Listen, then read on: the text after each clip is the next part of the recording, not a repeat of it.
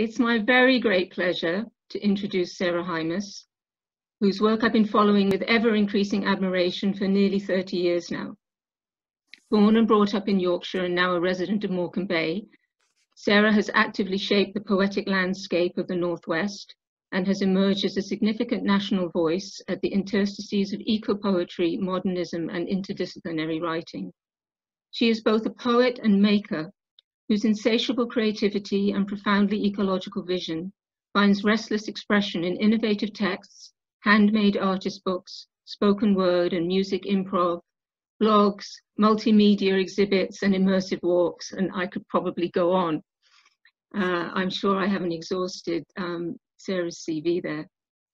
Sarah holds a doctorate in creative writing from Liverpool University, is the frequent recipient of grants and commissions, including funding to visit the Arctic Circle, and has been shortlisted for the International New Media Writing Prize and Ivan Juritz Prize, amongst others. As Simon's just said, Waterloo published Sarah's first poetry collection, Host, and we're exceedingly proud now to present Melt, which as its editor, I can tell you, takes an artisan's blowtorch to the boundaries between poetry, prose, philosophy, visual art, and book design. In so doing, Melt reenacts a series of intense encounters with ocean, as vast, unknown, and fragile, remote, and yet also an assemblage of human and beyond human elements. Without further ado, let's dive in. I give you Sarah Hymas.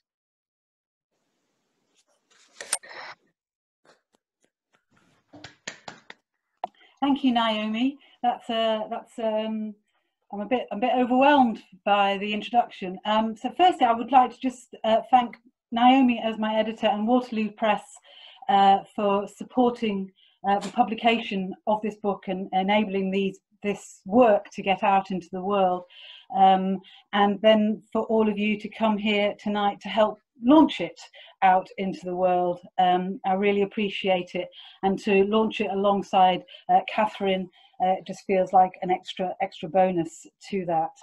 Um, I wanted to spend uh, the most of this first slot of mine talking a little bit more about the um, about the thinking and the energy behind Melt. Um, it's kind of been uh, a, a, a, fairly slow burn project. As Simon mentioned, I uh, my last book was published on in ten years ago, and since then I've been uh, I've been making artist books and doing uh, various other things that Naomi mentioned, and increasing a preoccupation with the ocean, uh, which which actually began over 30 years ago when I uh, miraculously managed to um, crew for people on on boats uh, back in the day when that seemed to be so much more feasible than than it is now, and.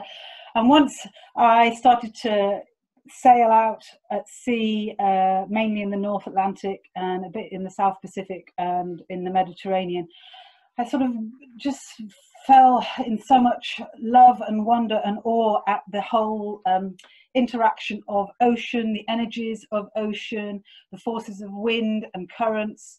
And it just it was just felt like an, an amazing world that I had not been uh, privy to prior to that in my early early years. And through that time, I then began to know about the creatures and the um, uh, the plants of both the ocean and the uh, seashore, and just became more and more impassioned for it. And then, of course, as you become more, as I became more uh, knowing of the ocean, I became more knowing of its precarity. And so, trying to kind of manage all these elements of my uh, experience, understanding, learnings, and not knowings of of the ocean. Felt like a um, a massive job that was possibly uh, well it certainly was overwhelming in in my attempt to try and reconcile it. So I do need to add at this point that um, I don't think uh, Melt would be uh, exist in this form if it wasn't for Deryn Rees Jones, who was my supervisor on the PhD and who challenged and uh, questioned and uh, supported my uh, workings through the book. Uh, so yeah, while I had all that uh, sort of trying to reconcile all those elements, it felt uh, it needed a particular structure, and and I really feel that my work as an artist bookmaker specifically um, has fed into the structure of the book.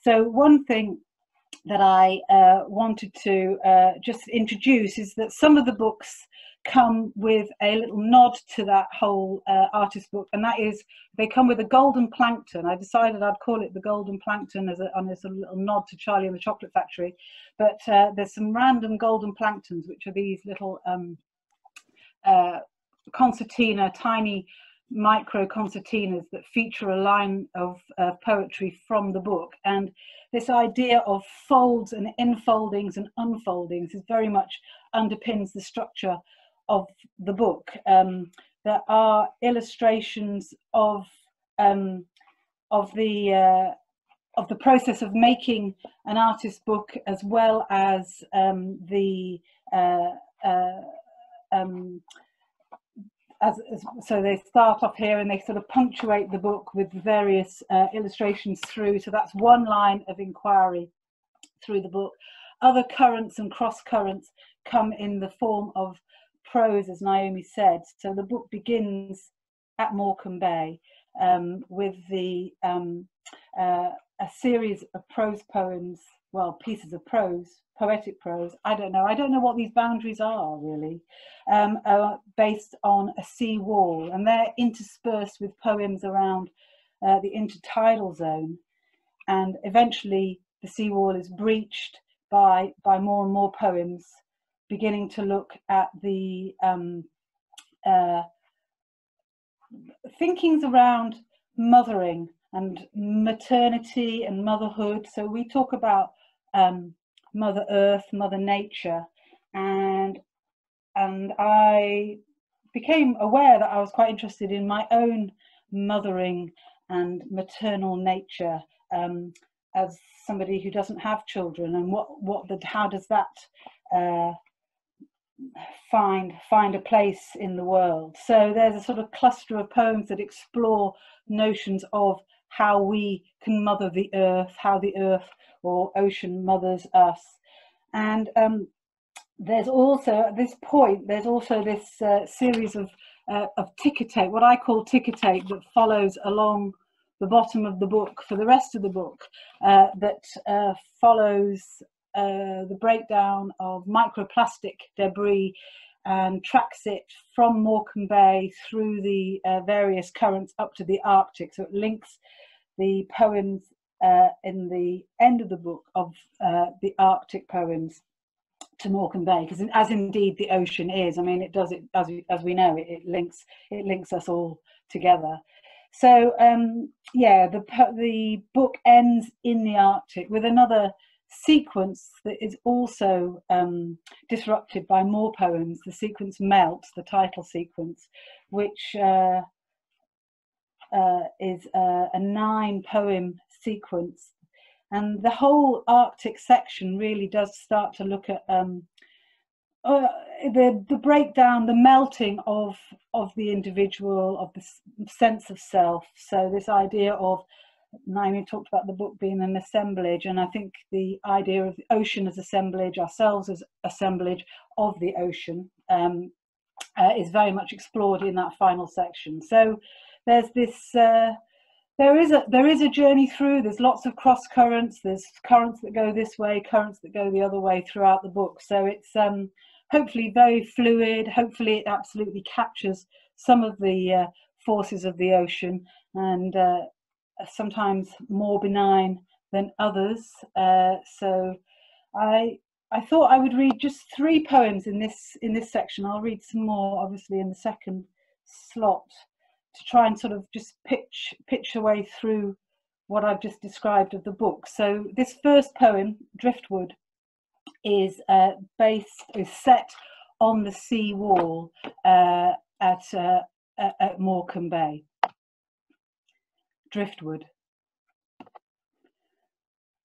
We could be pallbearers, slouching home with a spine of dead elm shoulder high. Our pacing coordinated to preserve length, coupling limbs, gnarled arms caught around the knot of memory.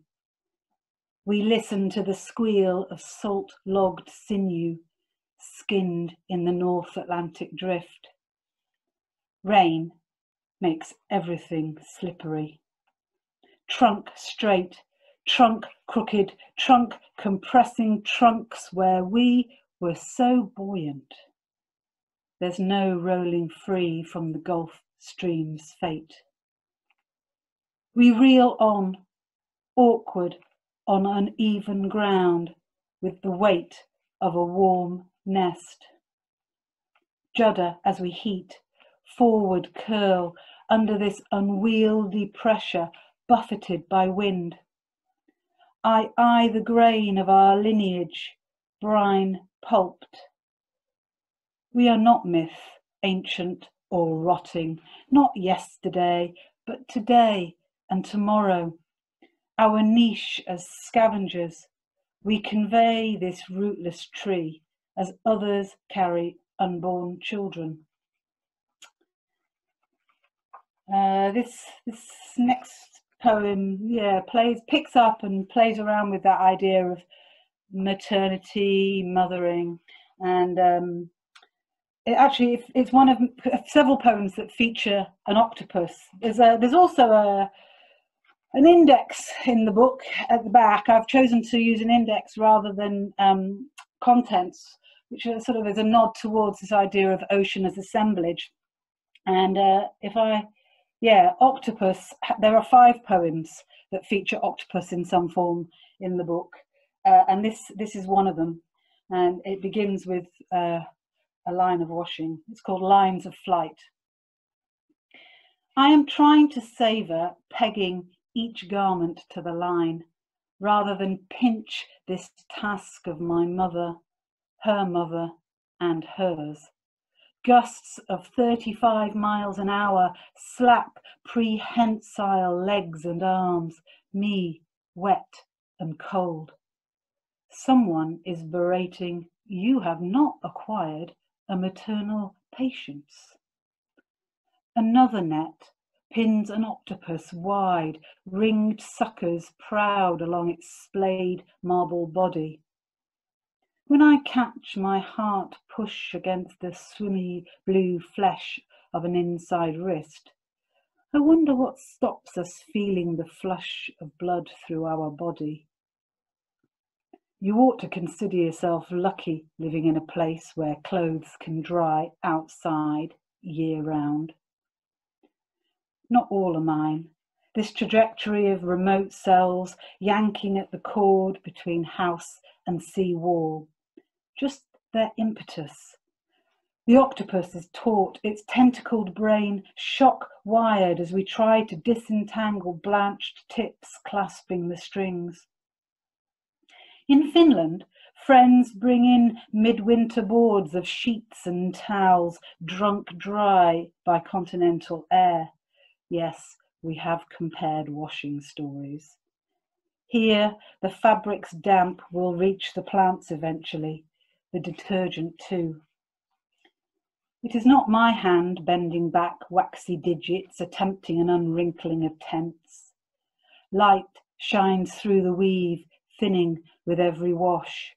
The flapping clothes insist all is well, a breezy faith they'll be worn again. Lurching forward, knotted, we leer over the trapped creature, urging it off, out, away. I am tied not simply by gravity, whatever it is, is stubborn, until flipping, plunged red, flushed scarlet, it pulses through water, brighter for the white it was less than a second ago. Sleek now, bullet riding zippered straits, a bloody gleam beating in the swill. And I'll finish this slot with one of the Melt poems. Uh, so yeah, they, like I say, there's a sequence. The sequences they're each called Melt, and then they have a sub um, title, and this one is called "In Which Comfort Is Sought." And I was looking at it earlier today, and I was feeling it felt very appropriate for now and these times of enforced isolation in which we are um, living. and this desire for, for contact. So, melt, in which comfort is short, sought. I find myself wanting to hold, be held by a body as fleeting as mine in the face of something too large to see. The smallest algae will survive these conditions, their resistance to sinking. So small I might not count. Turn me smaller than small. Multitude defends. Breathing is believing. A comma of chlorophyll Many commas punctuate many ripples amongst a legion of crossing streams falling to sediment. Snow, millions coiling across the glass parent that'll never be full. Every exhale extends nine months, a year, decades. I find myself wanting to hold and be held.